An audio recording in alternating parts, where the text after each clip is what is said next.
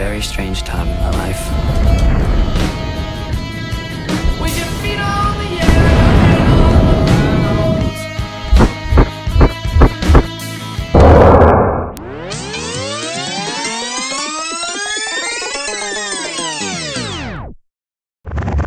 Hello and welcome to Fictional Crimes. I'm your host, Audrey Ruppert, and I'm a second year law student at King's College London. Today with me, I have a guest, Chris Banks. Hi, Chris.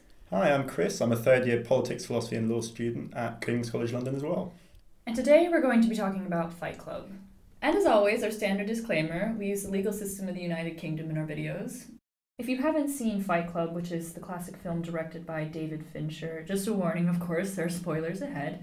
Um, but if you don't mind and you haven't seen it, the film revolves around two personalities the unnamed narrator, who's played by Edward Norton, and Tyler Durden, a hypermasculine figure, which is played by Brad Pitt. Eventually, the unnamed narrator realizes that he and Tyler are actually the same person, and Tyler is just a manifestation of his personality.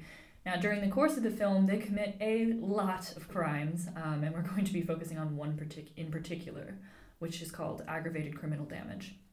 More specifically, we're going to focus on the incident where Tyler blows up all of the financial buildings at the end of the film.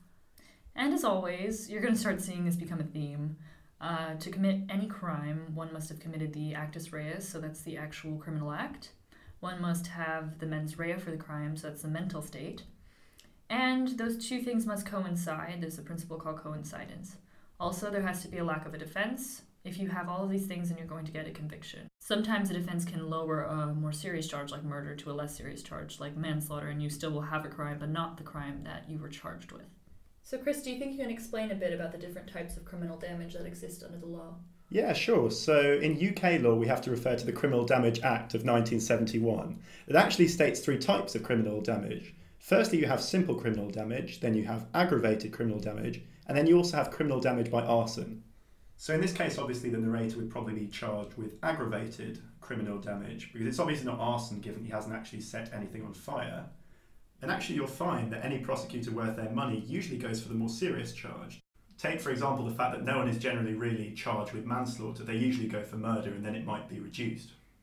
And actually, in this case, you find that this charge is probably more appropriate, given that aggravated criminal damage specifically refers to life being endangered, which, given that the narrator has just destroyed half of the, fi- the city's financial centre, he probably has endangered some life. Right, you know, even though it's specified in the film that they made sure the buildings are empty, it's still very possible that someone was walking on the sidewalk Yeah. nearby. So in this case, you wouldn't say simple criminal damage because simple criminal damage only refers to a situation in which life is not endangered, either on purpose or recklessly. So first, let's break down the actus reus of aggravated criminal damage, which is the charge we've chose to focus on. There's four elements to the actus reus of aggravated criminal damage. And those four elements are one, destroying or damaging, two, property, three, that belongs to yourself or to another person, and four, endangering life in the process. So we're going to focus on the first element here, which is damage. There's no actual statutory definition of destroy or damage. Um, there's a whole line of cases talking about what damage actually means, but I don't think it's really necessary for us to go into that here because he obviously blows up the buildings. I think they're damaged. Uh, the main question some people might ask, though, is did he damage them because he didn't actually press the button? He only masterminded the plot, I suppose. Uh, and that's where we get into this issue called causation. So we've discussed causation before on this show, and I'll put a link to that in the description. But Chris, could you give us a recap of how causation works? Yeah, sure. So, in really short terms, you have to establish two types of causation. One is factual and the other is legal.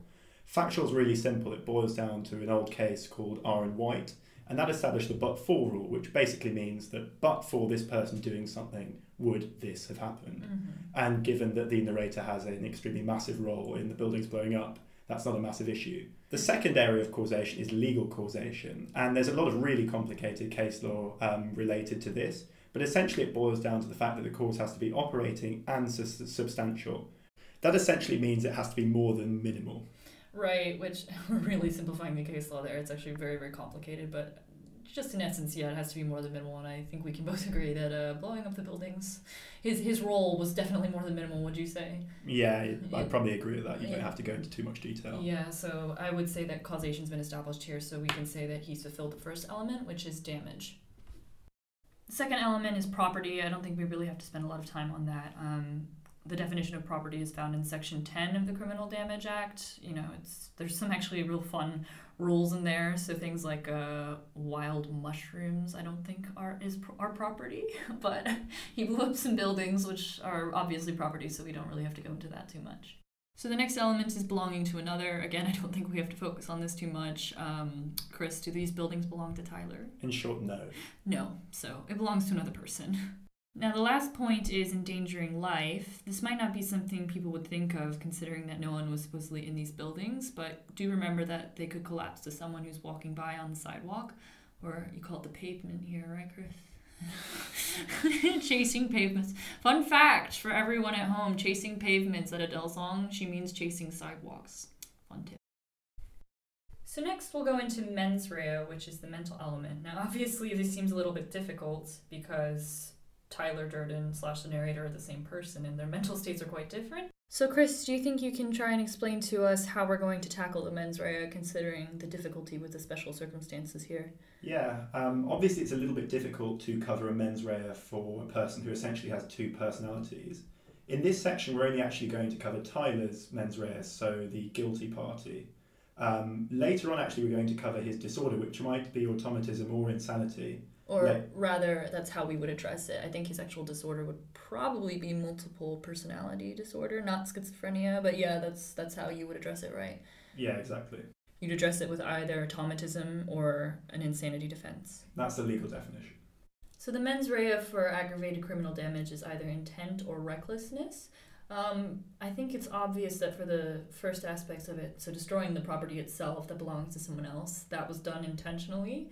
Um, but the endangering life bit, I don't think Tyler or the narrator uh, intended for anyone to be endangered. And that's kind of evidenced by the fact that they made sure no one would be in the buildings.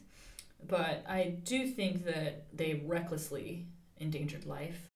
So when we get problems in law school, we analyze them assuming that the facts given to us are automatically true. We don't really think about rules of evidence or how in a courtroom certain facts might be uh, up for contest. So, you know, an interesting practical aspect we might want to discuss at this point is does Tyler slash narrator actually have this problem, this multiple personality disorder? That would be a question that's really asked in court. Um, they would probably have to bring in expert medical or psychological witnesses to explain. I think one thing that would really help in Tyler's favor is the fact that throughout Fight Club on security footage, um, by speaking to different witnesses, Tyler makes it very clear that he it does have this problem. In fact, there's that scene with Marla where he explains that Tyler's not here. So if Marla were to testify in court hearing, she could testify to the fact that it's obvious Tyler does have difficulty distinguishing between the two different aspects of his personality. Um, you could also bring in security footage and the fact that he confessed to the police that he has two separate sides to his personality. So the rules that govern the idea of being insane at the time an offense is committed are called the McNaughton rules. Yeah, so Chris, can you explain what the three McNaughton rules are? Should, should I explain what he actually did? Oh shoot, what did he do? I didn't read that part of the book. No, no, it's, it's, it's fine. So McNaughton actually tried to shoot the Prime Minister, who was Robert Peel at the time, but unfortunately he got it wrong, shot someone else who died eventually. yeah. Um, so that's why.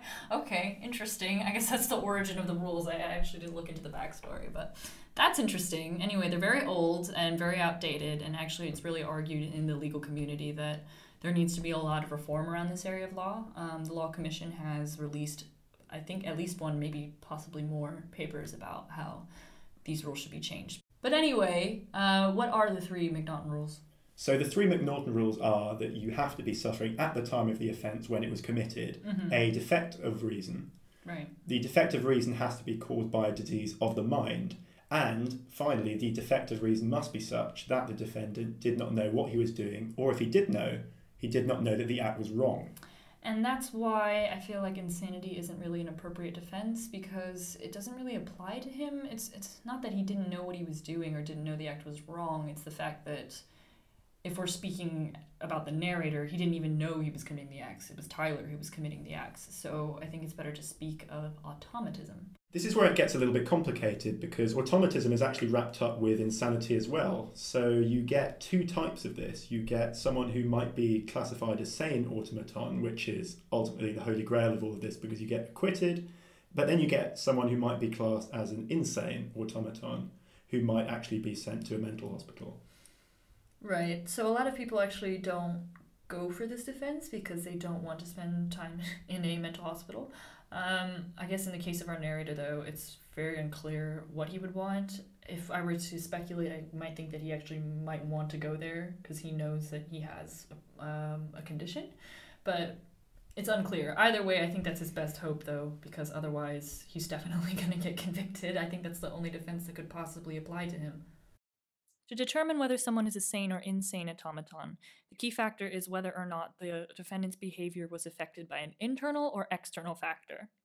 If it's considered an internal factor, the person will be deemed insane. If it's considered an external factor, the person will be deemed sane and then will be acquitted. It should be noted that this defense is very rarely used because it doesn't come up very often in real life. Uh, it conjures up this idea of sleepwalking. For example, in the 1800s, a woman threw her baby out of a first floor window because she was sleepwalking and thought that the apartment was on fire. This distinction is quite muddy, not to mention antiquated, and it has a very poor understanding of mental health. For example, there are two separate cases in which a diabetic was involved. In the first case, the diabetic did not insert enough insulin into his system, causing him to go into a certain state in which he committed a crime. Because the diabetes was considered an internal factor, something intrinsic to the defendant, he was found to be insane. However, in the second case, the diabetic put in too much insulin and not enough food to counter that insulin.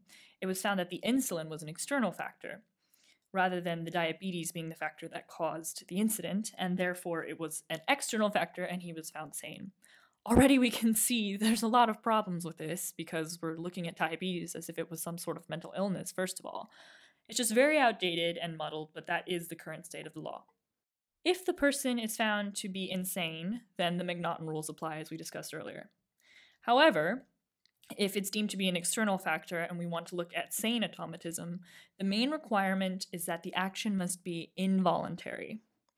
This was determined by Lord Denning, who if you are a student of law in the UK, you will know that Lord Denning is considered to be the sort of legal superstar. Um, but he basically laid down in this case called Bratty that one's actions must be entirely involuntary in order for someone to be a sane automaton.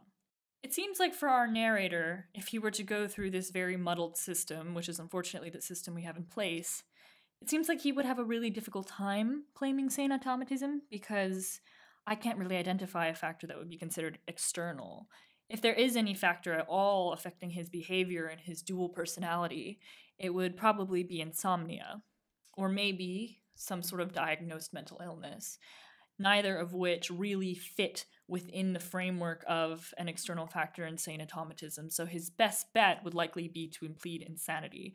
Although, as we described earlier, the insanity rules don't really fit him that well either, but it seems like he'd have a better chance pleading that than pleading sane automatism what we have with Fight Club is just a very difficult situation, one that doesn't often appear in real life. And it would be very difficult for the narrator to prove on the stand that this Tyler Durden figure was truly dead. Obviously, in the film, he shoots himself in the neck, thereby killing the Tyler Durden figure. But to prove that that somehow has killed this other personality, you could imagine on the stand how crazy this would sound. But given what we know about the narrator and what we know about the current state of English law, he would be best to try an automatism defense and would most likely succeed with an insanity defense. If he wouldn't mind going to a mental hospital, it would probably be recommended. Okay, that's it for this episode. Once more, I'm your host, Audrey Ruppert. And I've been Chris Banks. Yep, and we're both students at King's College London.